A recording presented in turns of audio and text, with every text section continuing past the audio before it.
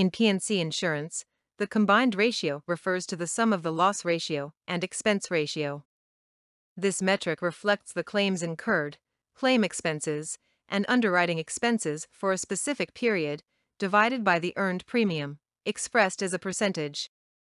If the combined ratio exceeds 100, it indicates an underwriting loss. Example earned premium $100.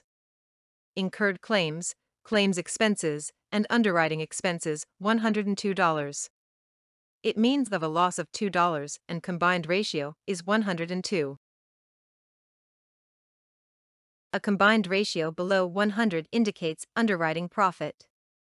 With $100 in premiums and total costs of $96 for claims and expenses, the company earns a $4 profit, resulting in a combined ratio of 96.